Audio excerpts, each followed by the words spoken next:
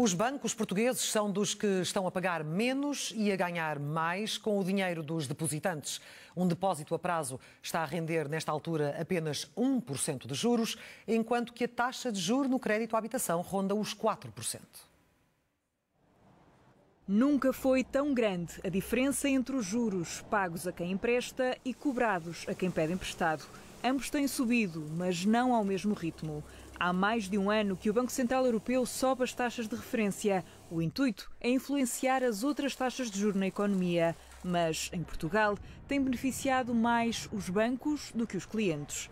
Os bancos portugueses são dos que estão a pagar menos e a ganhar mais com o dinheiro dos depositantes. Um depósito a prazo está a render nesta altura apenas 1% de juros, mas os bancos nacionais depositam esse mesmo dinheiro no Banco Central Europeu e recebem juros três vezes mais altos.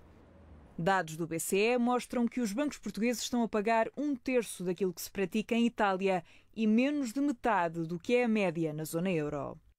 A remuneração oferecida pelos bancos tem vindo a aumentar em todos os prazos. Há oito anos que não passava de 1%, mas os juros dos depósitos ficam muito aquém dos dos empréstimos.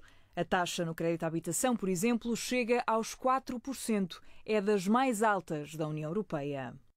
Uma das explicações para as poupanças renderem tão pouco é a margem financeira dos bancos. O maior banco português, a Caixa Geral de Depósitos, tem cerca de 80 mil milhões em depósitos e apenas 45 mil milhões de créditos. Significa que tem muito mais dinheiro em depósitos do que aquilo que lhe pedem dinheiro emprestado. Uh, e por isso não precisa tanto liquidez. Se formos ao segundo maior, se falarmos do BCP, estamos a falar de 67 mil milhões de depósitos uh, e apenas 39 mil milhões de euros de crédito. A procura por produtos mais rentáveis, como os certificados da Forro, pode ter levado os bancos a subirem as taxas, mas os especialistas acreditam que, enquanto a margem for grande, a banca vai manter a tendência.